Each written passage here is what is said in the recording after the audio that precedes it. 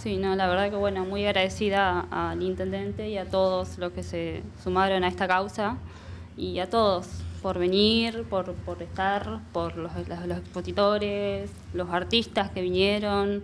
Eh, la verdad que estoy muy emocionada. Eh, eh, no, no, tengo palabras de agradecimiento para todos porque más allá de lo que sea juntar el dinero, todas estas cosas a mí me, emocionan y me generan, me, dan fuerzas que las estoy necesitando también. Qué lindo porque es, eh, en algún punto, digamos, uno puede pensar que no estás sola, eh, que hay muchas almas que están acompañándote, digamos. No, no, jamás, jamás, jamás me sentí sola en todo, en estos dos años, yo ya hace dos años que vengo luchando jamás me sentí sola, pues la verdad que desde que necesité yo publicaba o algo y enseguida juntaba la plata para que ya, sea por un estudio o por algo. Y bueno, agradezco internamente al Más que yo el tratamiento lo hice con ellos. Y bueno, a provincia también que me han mandado la medicación siempre a tiempo, siempre todo. Y, pero bueno, es una enfermedad muy costosa igual, así que siempre que necesité la ayuda, si se hizo rifa, se hizo eventos, se hizo todo, siempre recaudé y siempre llegué, así que no, no es para mí, no era algo que veía tan lejano por la cantidad de plata que se necesita, necesito más de 24 millones, pero la gente es, grandiosa, es grandiosa, la verdad que no, no tengo palabras, es la solidaridad de todos eh, es inmensa.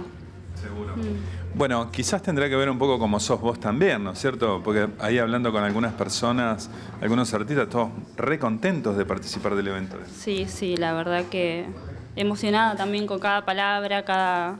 Que bueno, que uno también se empieza a dar cuenta de lo que es realmente también, ¿no? Eh, de que uno cosecha lo que siembra también. Eh. y que hay cosas más importantes que otras, ¿no? Especialmente las cuestiones humanitarias. Hoy en día sí, todo. Es como que le das valor y priorizas otras cosas.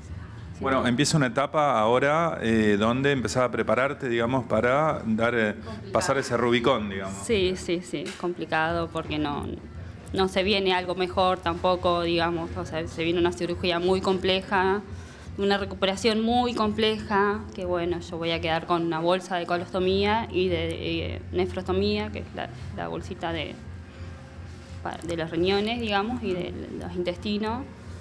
Y bueno, los miedos que se avecinan, eh, todos juntos, son muchas cosas. Ojalá que el cariño de la gente y el acompañamiento, ojalá que eso sea un plafón de ayuda para vos. Sí, sí, me llega de una manera increíble, que la verdad que le agradezco a todos cada mensaje, cada aliento, cada abrazo, cada...